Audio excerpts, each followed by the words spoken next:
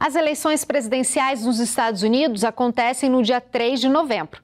Mas com menos de uma semana para a data, os norte-americanos formam filas para realizarem os votos antecipados. Confira. O voto não é obrigatório nos Estados Unidos e muitos estados mudaram as regras de votação por conta da pandemia do coronavírus. Os eleitores podem votar antecipadamente, tanto pelos correios quanto presencialmente. Estados considerados decisivos na disputa presidencial concentram metade dos votos antecipados no país até o momento. Os democratas seguem com a maior quantidade de eleitores e o país chega a um nível recorde de comparecimento antecipado.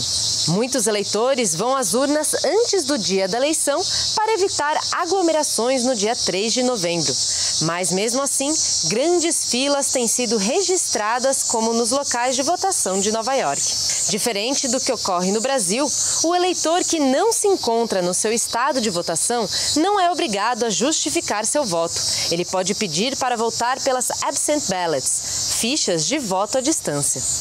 A participação nos votos antecipados está especialmente elevada no Texas, na Flórida e na Carolina do Norte. Três estados que estão sendo disputados acirradamente entre o candidato republicano Donald Trump e o seu opositor democrata Joe Biden. Clarissa Brito, para a Rede Vida de Televisão.